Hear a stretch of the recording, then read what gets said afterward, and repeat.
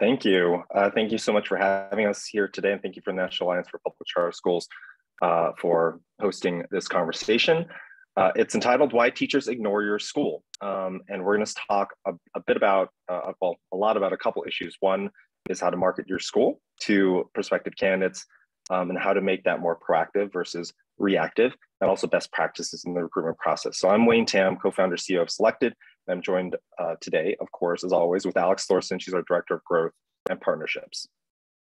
First, I'll start with just quick, uh, brief introduction to Selected. For those who are not familiar with us, we're essentially a teacher, uh, an education uh, educator hiring and matching platform. We make it really easy for you to connect with qualified, diverse, and relevant candidates in your area. So it's a pre-made, ready-made pipeline of candidates for your school or your network.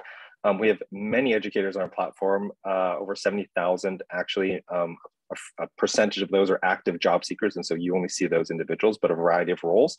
And finally, um, yeah, access to our platform um, really gives you uh, ability to post jobs, directly message, um, and promote your school. Learning outcomes for today, uh, four big ones. First, what's missing in your outreach and recruitment process? Two, how to hold your own um, if you are a smaller um, school, individual school, or smaller network, how to hold your own against larger districts and networks um, because of your lack of, of fewer resources. Um, how to build a sustainable process that will outlast recruiter turnover, how to make sure that's sustainable. Um, and of course, um, the headline of all of this is how to proactively connect with teachers and have them find you rather than the other way around. Okay, so what we know and what you know more more specifically, why is recruitment uniquely challenging for smaller organizations? Of course, limited staffing and resources. You're lucky um, to have one dedicated recruitment professional. I'm guessing many of those on this call may be the person dedicated. Um, and because of this, uh, lack of time, resources, while recruitment is always top of mind, it's necessary not necessarily what you're working on, um, and it often leaves schools reactive rather than proactive and passive rather than proactive. It's hard to be found by teachers. That's another headline here. It's just hard. There's a lot of competing audiences, other larger districts, networks, private schools, other non-education employment opportunities, right? And not to mention that if you're an individual school or smaller network, yeah, if you if someone types in your school in Google, will they find you? How do they find you? Do they find you through job posts? Maybe, but you see the candidates are coming in through your job posts. A lot many of them are actually teachers, and you may not even not sure if they're actually even real people. Job fairs are synchronous. It's hard to you know it, it's it's a time consuming process, and they might not be candidates exactly the right fit for you. So it's hard. It's hard to be um, discovered, um, and uh, and thus it's hard to maintain organic pipelines um, organic meaning organic by meaning that candidates are coming to you rather than you paying or, or you know investing uh, resources to, to attract them. Um, it's just hard to do that time consuming um, for that as well as building partnerships with uh, entities like schools of education and other nonprofit partners. Finally if it feels like you see the same challenges every year yeah you probably are because um, what we've seen and we've been doing this um, since 2016 um, we see a lot of turnover the, among the recruitment ranks. Of course, there's significant turnover among the um, even administrators as well. There's just, and I hear this a lot. We hear this a lot from other recruiters. If you feel like you're recreating wheel every time, so how do you make sure that those incremental improvements or those lessons learned every year stay with you, um, uh, rather than having to do it again every year? This is a quote we received from a, a charter school on selected uh, one based in Texas that charter schools are often not um, part of um, uh, SOE discussions and often conflated with being more similar to private schools, lower paying, stealing for public education. We've all heard this about charter schools.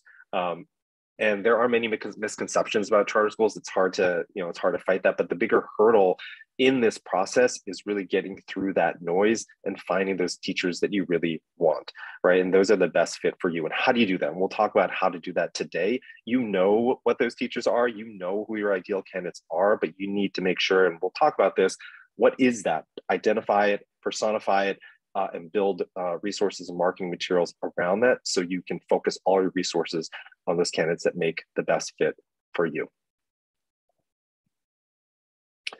So you need to attract them, both in terms of the content and messaging that you have. Um, these are the things that you need to figure out your school culture, what makes you special, what is your compelling offer and opportunity for your candidate what are those non-monetary benefits, right? This is just part and part. These are probably common things that you hear, but they're also best practices in making sure that uh, and, and making sure you're articulating what is unique about your school. The other side note of this is that as much as you can control this message and, the, and that you can deliver this directly to candidates, the better, uh, because they're hearing it from you and it's much more personalized. Um, so, of course, describing what you can offer them and then delivering on the promises, um, which is often a, a, another difficult part of it. Um, and these promises aren't just, you know, once they reach campus or once you reach your school and start their job, it's also ahead of that. What are those things as part of your recruitment process um, that you can control that give them uh, the the um, uh, that, that give them the understanding that you are very focused on teaching, that you support them, but you're supportive and have a customer service mentality through the whole recruitment process, right? You're always there, you're responsive. Um, all those are cues and clues into how they will be treated when they are employed. Um, and how consistent is the message among uh, the job post, the, the, job opportunity, the school culture articulate, and of course, all those touch points that this candidate will have both with recruitment and in the interview process. So these are all parts of the process. We won't cover all of them today, but just to give you a sense of what you need to do to not just attract uh, to, to attract them, right? And keep them interested in the role that you present them. But before all this, you actually have to find the candidate. So we're going to talk about top of the funnel, how do you find them? And then we'll talk about how you engage them, push them through your recruitment process. Okay, so the first step is uh, in building a recruitment process uh, is to get candidates uh, is to is to really define is to really improve the marketing of um, your school website. So this is a this is something that this is new. So we're we're demoing this today in terms of in terms of our, our presentation. But one thing that we've noticed over the past six years is school websites don't have often don't have kind of clear articulation of what we think are just really pertinent um, pertinent points of information, particularly for candidates who may have just clicked on a link, who may just be, oh, I heard about this school, let me check out the website, maybe click on social media. Just in this day and age where people short the attention spans are incredibly short, how do you get them to understand your school and mission and vision in very discrete uh, uh, in discrete bullets or points um, and get them just bought in quickly so they can move the next step. The whole point isn't to sell your school all at once. It's just to make sure that there's ways to kind of push them along. So four things that all school websites should have, but often do not. Um, and they do, but uh, it's not quickly kind of discernible. One, clear, easily discoverable vision and mission. This is clear. Um, that's that's that's a necessity. Two, um, easy to find information on a couple key um, uh, a couple key data points. One, location. Shocking. I this may be so. You may be looking at this like, of course, of course, we have this on our homepage. You're insane. Really, we we go to we go to websites often. I'm struggling to find the school, the grades they serve, the types of the, the demographics and the student served. Are they a private school? Are they a charter school? Are they are they a district school? Um, and the grades served. And these are core characteristics for any teacher is this is this school matching me at a very high level? That's even before, honestly, even look at vision and mission. They even serve the grades that I care about. Three, um, images that show the school's culture and vision in action. How can pictures are are incredibly valuable, videos are really valuable, testimonials are valuable. How can you articulate this in quick sound bites? And then four, and we left it at four, but it's it's uh, it's a it, it, there's really no particular order here. They're all important. Is that how does a candidate come to your site and know that you're hiring and what for? We know websites have multiple purposes. That's why it's difficult because I know you're trying to, you know, enrollment's a big issue. Maybe you're seeking additional donations or, or some kind of marketing effort on another front. But then you also have, if we're talking about, and this is really from a recruitment lens, um, if you're here to recruit teachers or other candidates for your school, how do they get to that point? Okay. And by the way, all of the above is helpful for really all audiences, parents, etc., um, any stakeholders. Okay, so what we're going to do now, if everyone's near, if you have a phone or computer, um, we're gonna we're gonna look at two websites, two school websites, and this is kind of direct feedback into at least our initial action into. Um, these are two schools that recently signed up selected, so they're just on our minds.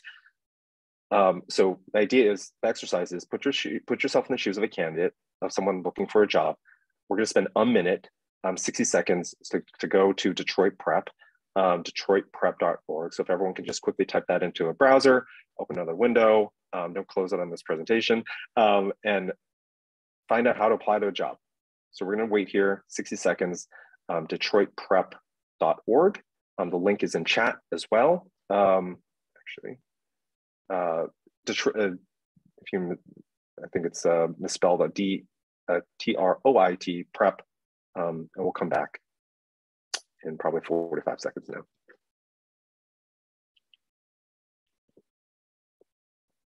There you go. Thank you.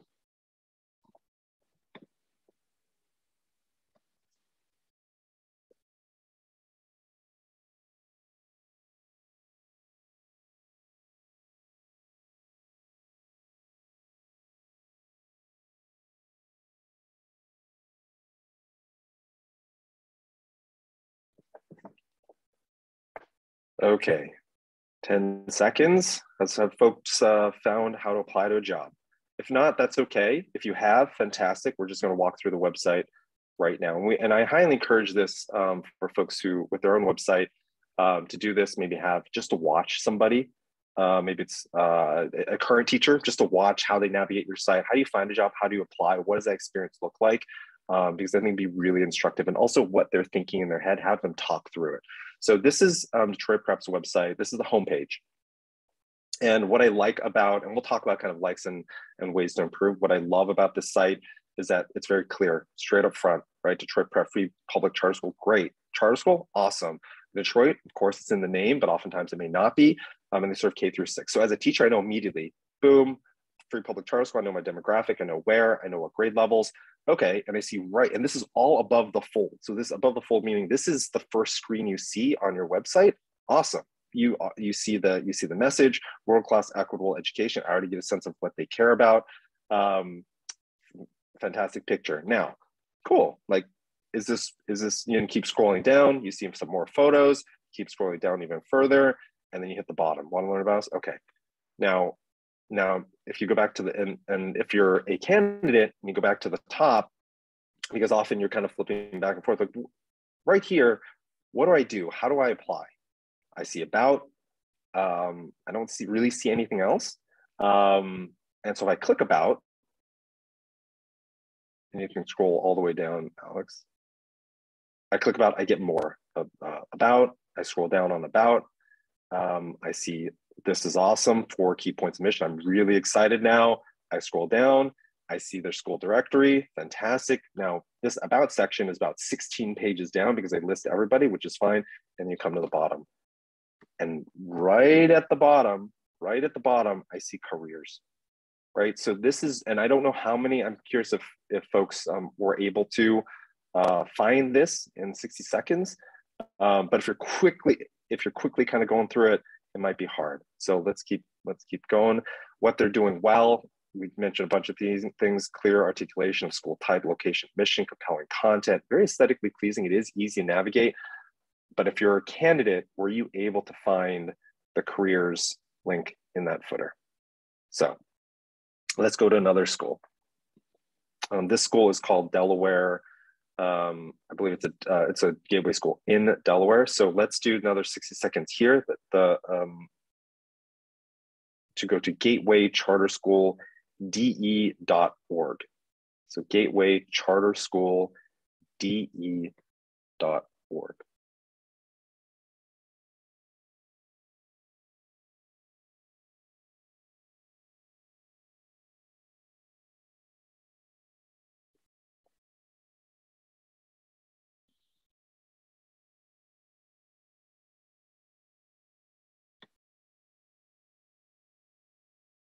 And so you want to think about those same questions, right? Um, school type, grades they serve, mission and vision. If you're a candidate and this is a brand new school or just an outsider, um, is this an interesting organization? Is this aligned with what I believe?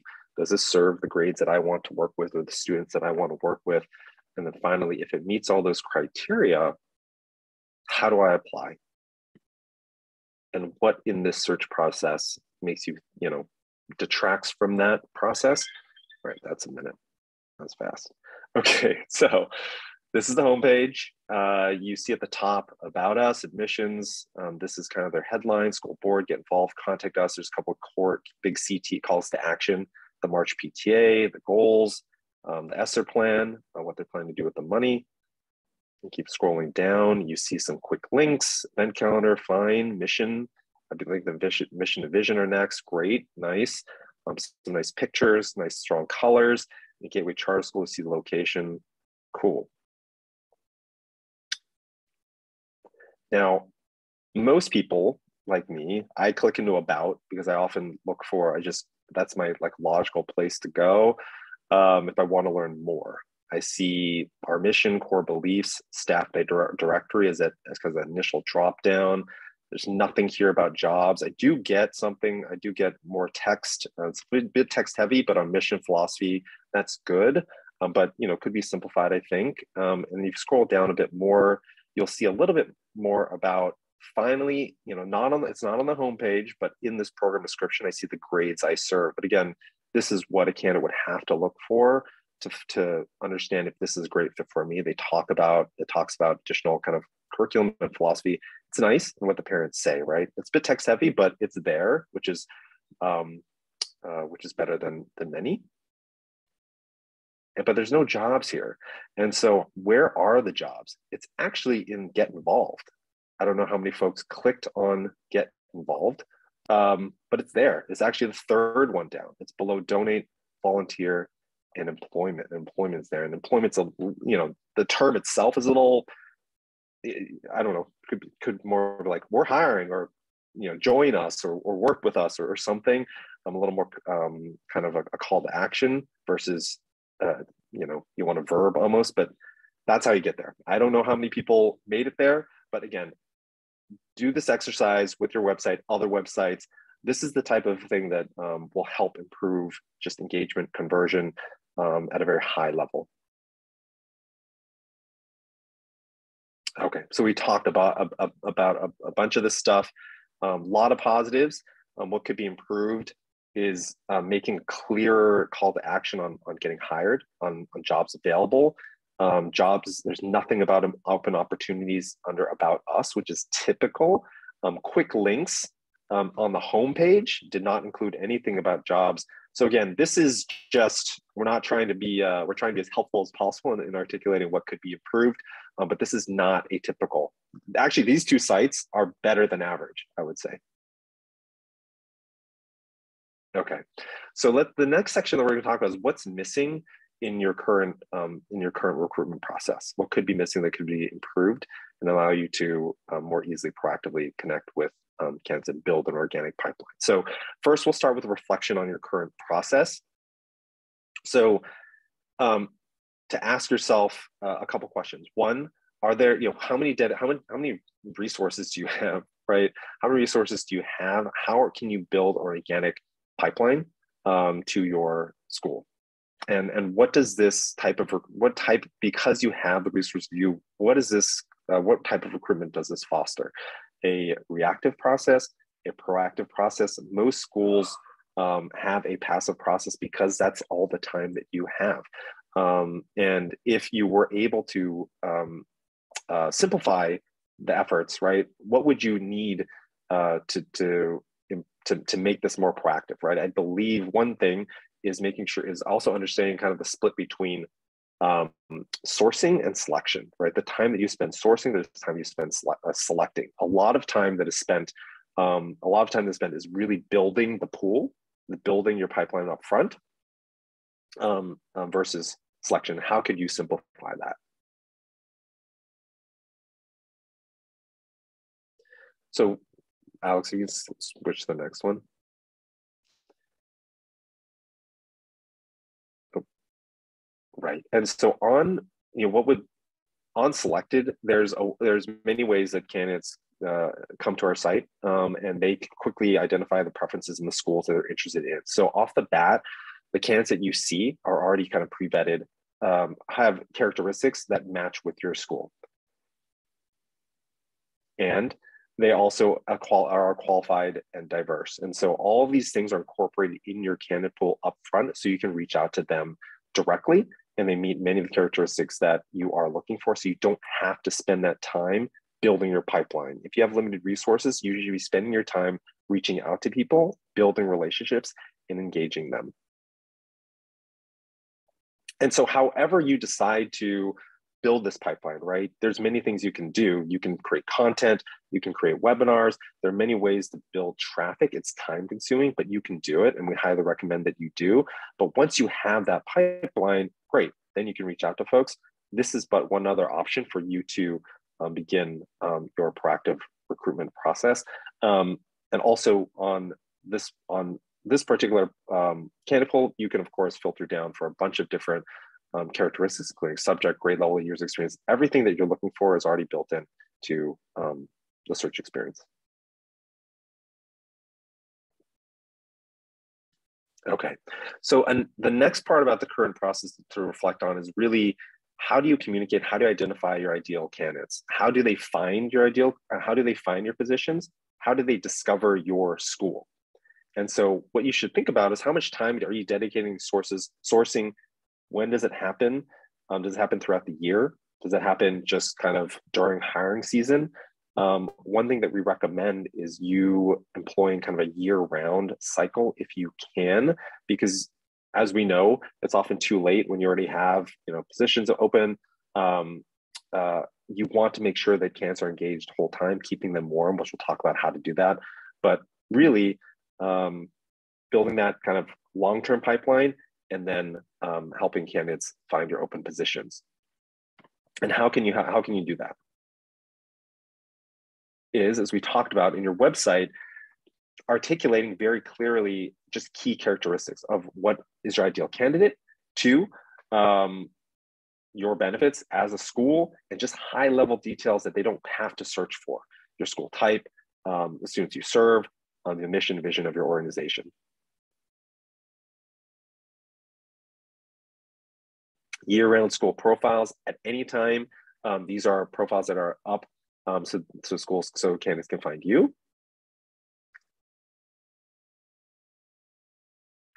And these are, and for you to find them. So when you find candidates that you're interested in, you can reach out to candidates directly based on a variety of attributes that are already uh, matched with uh, pro, uh, open positions that you are that you need. Okay. Now, the last reflection that I want folks to think through is your pipeline. So, how do you build, how do you maintain that pipeline? We talked about um, partnerships that you might have. Uh, they're hard to maintain, right? With schools of education, we know that you want to reach out to schools of education um, to have organic uh, inbound. Um, other places like Teach for America, alums, things like that. How do you maintain those? those are time consuming. We know we've tried it. We build kind of uh, partnerships on our own, and that's something that you can leverage um, uh, through us as well, including the schools of education that we work with um, and that we market to. Um, uh, we market um, uh, your open positions to as well. Okay. All right. So, Waine, thank you for walking us through all of those websites. We're going to talk now. We've seen some examples.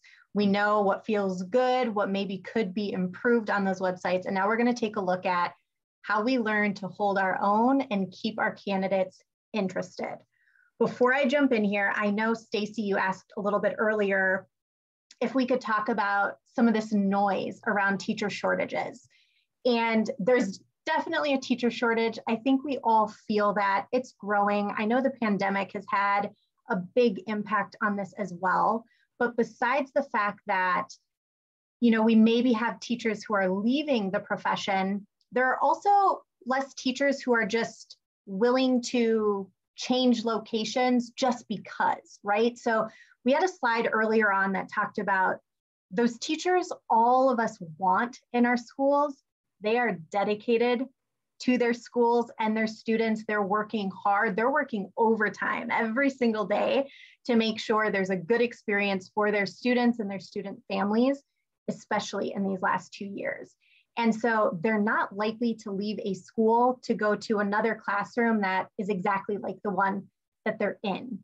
They really want to know that they're making an impact, that they can make a difference, that they are valued.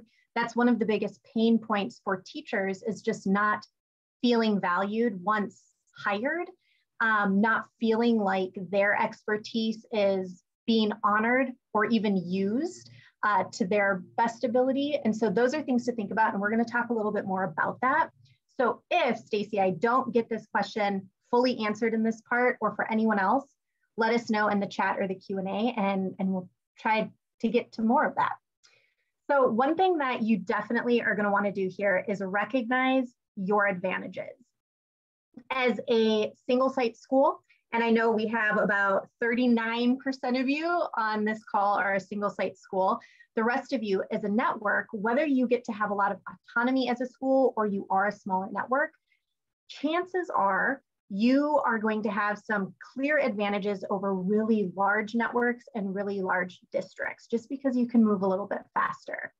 Oftentimes, this means that we have a really strong school culture for better or worse. So, even if you have a st strong school culture, think about the impact that culture is having on your stakeholders, your students, families, your teachers. Articulate and demonstrate your school culture broadly and consistently what you say to your teachers as you are recruiting them, right? Come work at our school because we are X, Y, and Z should be the same things you would say to families when enrolling students, you would say about students in an assembly. You don't want to disconnect there because that disconnect is going to cause, well, quite honestly, it's going to cause retention issues, right? There's going to be some resentment in there if either party finds out you're talking negatively, you're more deficit based when you're in front of one audience, more asset based in front of another. Stay asset based, stay consistent in your messaging. Um, again, here, candidates are not going to leave their current roles for something that feels like the position they are already in.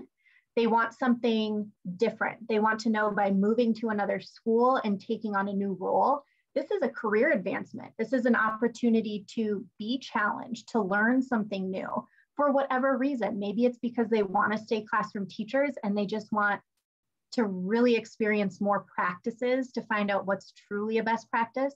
Maybe they want to be a school leader and they want to get more examples of what strong teaching can look like and diversify their idea of strong teaching. Candidates want to be where they feel valued and important, and this is often a very overlooked benefit, and it is one that moves candidates if you are talking to a candidate and you can share with them and again honor that once they are hired and working with you how they are going to be able to bring what they have to offer to the school how valued that is how you plan to use that and help other teachers engage in those same best practices this moves teachers Flexibility is also another key advantage. Don't wait until hiring season. Whatever you think hiring season is, Try and get that out of your head and remember this is year round. You recruit year round because large districts and larger networks are often tied to hiring during a specific window. You are not. Most candidates, more than 50% of them, are taking their first offer. And recruitment, think of this in the same as this idea of like you don't stop dating your spouse, you don't stop recruiting your newest hires. If you come on heavy at the beginning about how great they are, and six months goes by before their day one on campus, you're going to lose them. Something, even if they are physically in the building, you've turned them off in some way, shape, or form. They are not going to have the same relationship and partnership moving forward that they would have had you kept that consistent as well. So build that into your process. If you ignore them or ghost on them, chances are they will do the same to you. So you got to be the one to break that cycle. As you articulate your school brand and really figure out how to like market your school, you want to understand your core values and your school culture. How do you operate and act, those foundational beliefs and values, your instructional model, right? What are you prioritizing when it comes to instruction? What does this look like? What does lesson planning look like? Um, are teachers following a scripted curriculum? Are they building their own? Those are all things to be thinking about, including your behavioral management practices, school-wide, classroom-based. Determine the characteristics of candidates most aligned with those core values. create a persona for them. Think about who is this person? Where would this person be hanging out? What does their work day look like? Once you know that, if you know, oh, my ideal candidate is working overtime hours and they're constantly busy, then that traditional way of sourcing and recruiting them and selecting them, the whole hiring process might not work for them, right? So think, how do I adjust what I am doing to get the type of candidate I am most interested in attracting? Create compelling job descriptions. So many job descriptions look the same. Find a way to stand out from your competition. Remember that teachers, especially if we're feeling that teacher shortage right now, they're in high demand and their time is more limited than ever. You don't want them to read your job description and have to think about whether this fits their goals and aspirations. Make it so clear what you are looking for and the type of candidate you are looking for that as your right fit candidate is reading this, it's just jumping off the page at them that this is them. This is the school they are meant to be at, and they want to work with people like the people being hired at this school. Okay, get that as clear for them as you can. Um, get also really clear on those roles, responsibilities, and the expectations as a teacher at this school. Otherwise, you're wasting their time, they're wasting your time, and all in all, in the entire cycle of recruitment, we're hurting each other if we aren't following those best practices because the more recruiters a candidate talks to and has a bad experience with, the less recruiters they will talk to in the future. So, recruiter to recruiter, these are things that we really want to be working on. Think about opening up with a paragraph about your school that gets teachers excited about joining your team. Again, we're going to say this, we've said it before, we're probably going to say it a few more times in this presentation. Highlight your school culture, your students, your values, your current team. Bring your school to life on your website and any of the resources that you're sharing with your candidates during this process. Also, talk about where you are headed and how this particular role is going to help get you there, right? Because now, as a teacher who wants to have an impact and make a difference in my role, you're telling me exactly how you see me helping you get where you're going and helping our students get where we're going, right? What is that vision? All right, we're marketing our brand. I'm going to go through this one pretty quick here, but find ways to differentiate differentiate yourself in commonly used channels. Just like with those job posts we were talking about, stand out. Don't feel like one in every other school, right? Be different um, and figure out what makes your school different. Magnets are these irresistible offers that we can give our candidates. You see this in marketing in different industries. A lot of schools have not yet tapped into this, and this is an area that can attract those candidates year round. If you have a behavior management system, maybe you have a tracker that you're using in classrooms, Maybe there is a lesson plan template that you have found that is more effective than any other lesson planning template you've seen.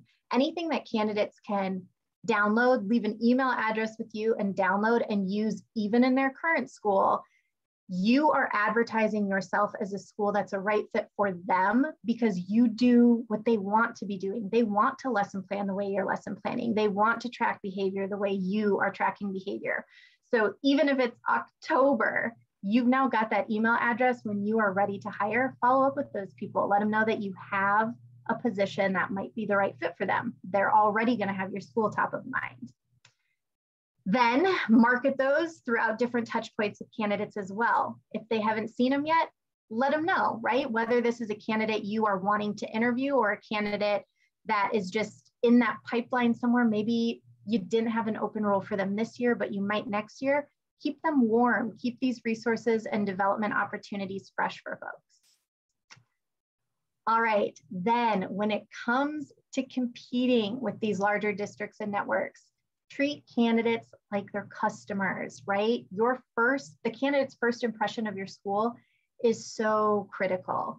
Keep your website, job postings, any platform profiles updated and accurate. You do not want to go to a website and have the information that's there five years old. Sometimes it's even more than five years old. Sometimes the website itself feels just outdated in terms of how it even looks. So keep things updated. Again, that first impression is critical. You want them to feel excited about coming to your school and you want them to feel that you are just excited about getting to know them as they are about getting to know more about that open role. That is going to move folks, that is going to keep them from ignoring your outreach. Be respectful of their time. Again, these are very busy people. Make them feel welcome and comfortable. Think about what that looks like if you're inviting them into your school in pandemic times or non pandemic times. And it might look a little different. What does comfortability look like for folks during this time, um, the stage that our world is in?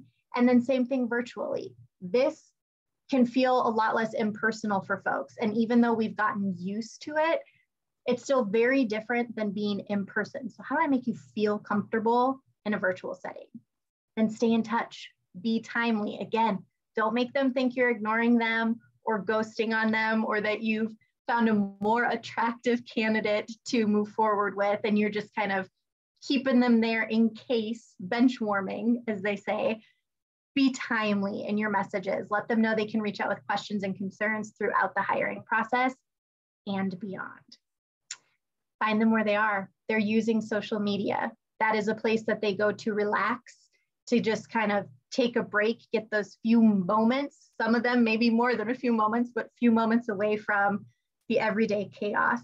Social media also encourages two-way conversation, makes it easy for your network to share what's going on at your school, right? This is another great place. Get that school culture out there. Show them what that looks like in action. You aren't just talking the talk about your mission and vision. You can show people what this looks like at your school not only is this great for finding candidates, but remember, people talk to people like them. So even if I, as a candidate, am not looking for a new school right now, five of my friends might be. So if I know this is a great school and I can see my friends there, I'm going to tell them about it. So know that this becomes a referral program in and of itself. Share those photos and videos of your school community. As I said, this really just brings your school to life last piece on this section, you want to craft response worthy emails. Emails, they get ignored. There are too many of them. In the last two years, because so much of our life, work, and personal has gone virtual, there was a time, you know, pre 2020 when it was kind of nice to sneak off into your office and take 30 minutes to look through emails. That's not what people want to do anymore. This is not, doesn't necessarily even for most people feel like a way to attack a to-do list or feel like they've achieved something. So emails have to stand out or they will get ignored at this point. Have a compelling subject line, okay? New job opportunity is too boring. They're getting too many of those. Don't do that. Think of something that's going to actually get them to open that message.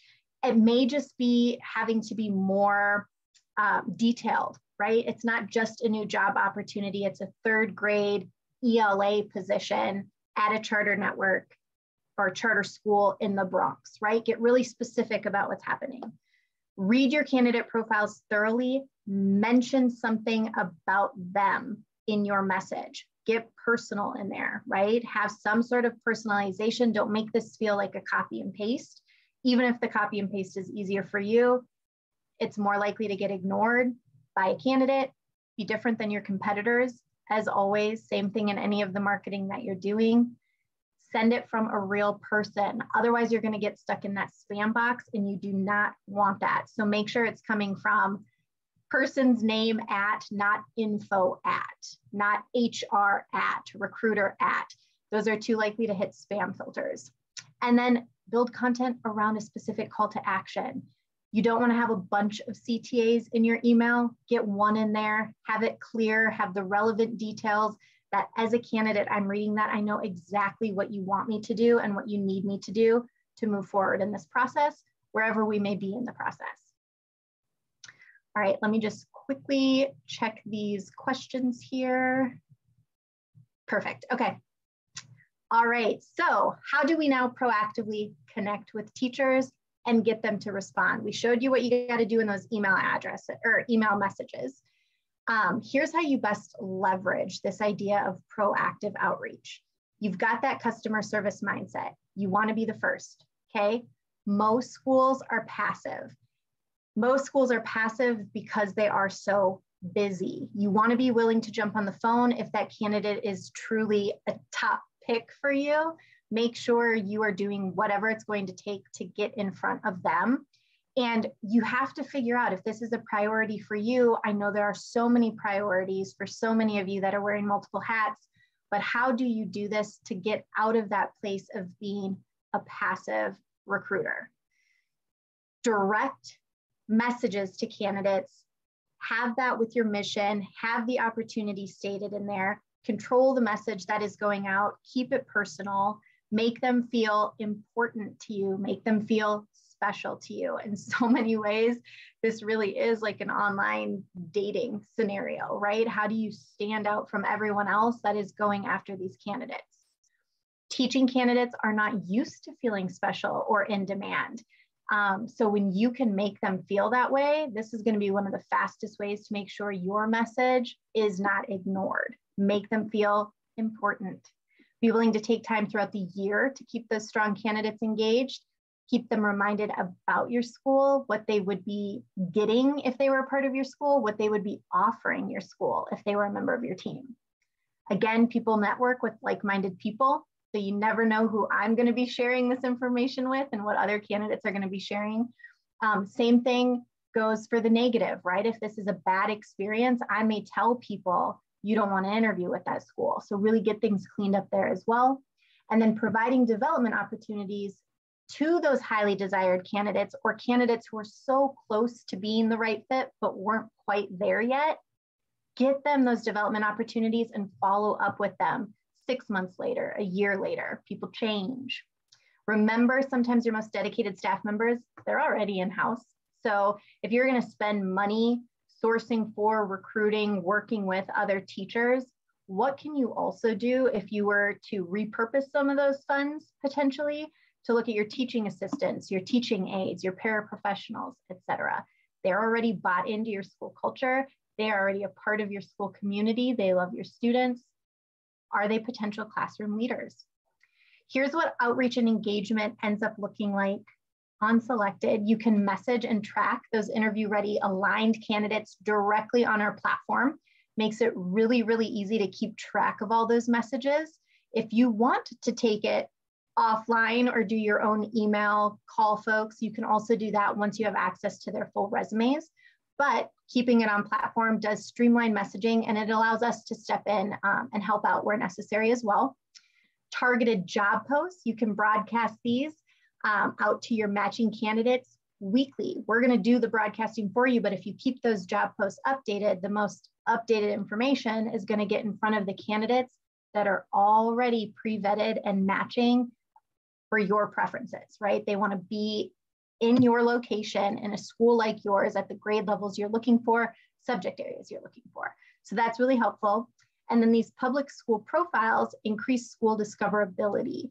It is a place that not only candidates are able to see you, but schools of education are able to see your school information as well and share that out with their students and alumni incomplete profiles, whether this is on our platform or any other platform you are using, is one of the biggest reasons schools are getting ignored. We've got this example up here from College Achieve Public Schools is the one we showed earlier. It's very complete. There's a lot of information. In fact, they have 25 open roles. So if I'm a teacher who stumbles upon this profile, I can scan right through and see how many of these roles feel like they might be something I want to do I can learn more about them. I see information on their students, on their faculty, the overview. Their headline is definitely complete. And then American School Foundation has a far less, at the time that this screenshot was taken, less profile information. And so if both of these schools reach out to me and as a busy candidate, I only have time to respond to one, I'm more likely to respond to College Achieve Public Schools because not only are they giving me the information I'm seeking now, I am going to make the assumption, and that is what humans do, we make assumptions that they're going to be able to give me more information when I have questions or reach out to them as well. May not be a fair assumption, but it is the one that candidates are going to make. So think about that. That is everything that we have for you, but we are going to be taking those questions now. So if you have any, we're going to be looking in the chat here and the Q&A section, so make sure you leave them there. If another question comes up, you can get a hold of us on social media, or you can email either Waine or I directly at our email addresses listed here too. And then Waine, if you had any other last few things or if you've seen questions come in as I was on there, feel free to take over again. You will get a copy of this presentation. Yes, that will be sent out. You know, there's a question from Rod, I think, around searching. Um, I wasn't sure, I was trying to respond to the question, I wasn't sure how to, but if you can ask, add clarification what you're looking for. You, you, ask if I search for Home Depot, you know, online, I'll eventually get information from Home Depot and how can we have something like this? I'm not sure if you're asking from a candidate perspective um, or a school perspective or what you're trying to accomplish, I guess. Um, but if you could add clarity to that question, that'd be great.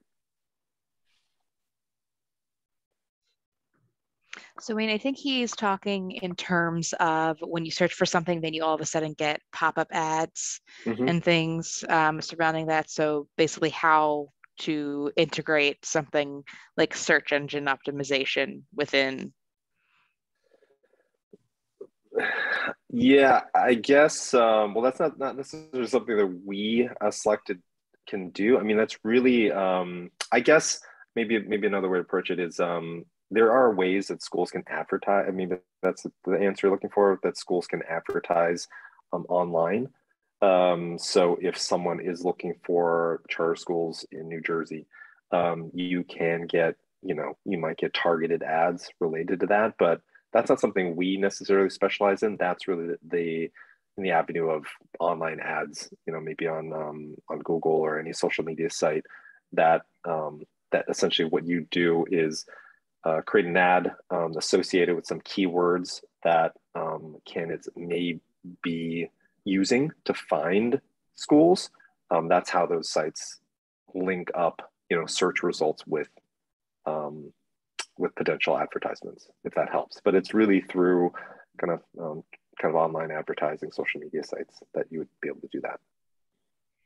And this that, doesn't, yeah, this doesn't fully solve it. But one thing that we do with selected is if you go in and you, you know, fill out all of your preferences on your profile and we then know the type of candidates that are best matches for you, every Monday you're going to get an email listing out new candidates in that last week that have joined the platform that match what you are looking for in a candidate.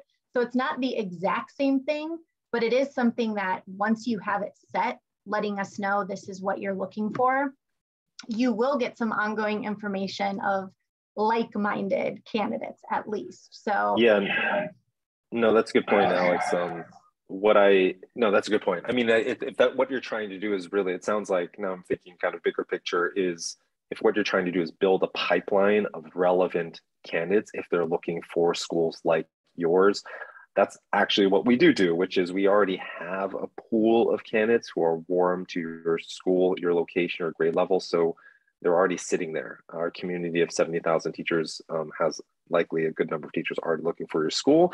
They just don't know necessarily your school exists and what they stand for. So then it comes um, your obligation or, or working with the tools on our platform to reach out to them directly, which would shortcut all of this, would shortcut creating an ad, posting a job, posting an ad, you just go straight to the messaging.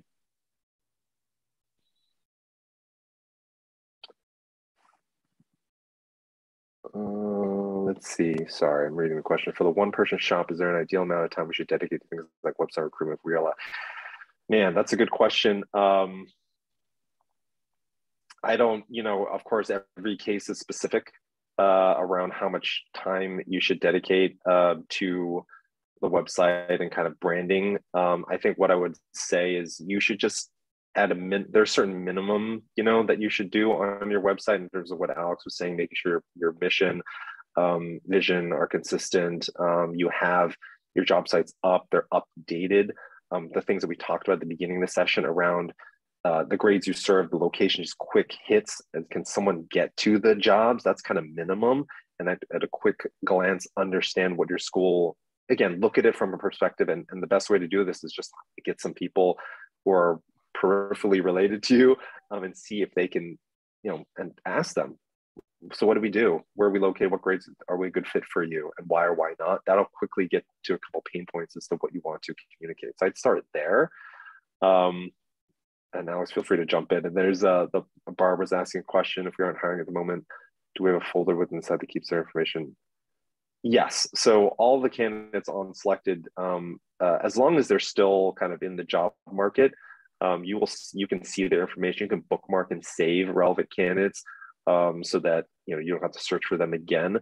Uh, our site is very focused on active candidates. So if they become inactive, you may not see them. But for those who are active, um, you can keep you can you know, bookmark them and save them for later. Yeah, and if you have reached out to them, you will have access to their resume. So you can always keep that, file that away. However, yep. you might file a resume you get at a job fair, print it off, have it somewhere. Um, so that's an option too. And then uh, the other thing I would say to this question on like the ideal amount of time to dedicate, an another thing to think about is a lot of times schools start thinking about their hiring process, their recruitment process as that peak season is hitting, if you have downtime anywhere else in the year to think about a process that will be more sustainable, more self selection, even for candidates, right? Like I'm going to look at my website and figure out how candidates just come here, they see exactly what they're looking for, and I now have to spend less time recruiting and sourcing folks. Um, take that time because it's going to pay off in the end. It's going to feel like a lot initially when you're doing it, but think about the things that are going to save you time long term and that are going to outlast, again, those turnover issues that we end up having, right? Whether that's the recruiter that you're working with, maybe you have a third party that you're working with, or maybe it's just the teachers that you're using as part of your hiring committee. So that would be something to think about too. Um, and I hate that it might be a painful process initially, but just remember it will save time in the long run.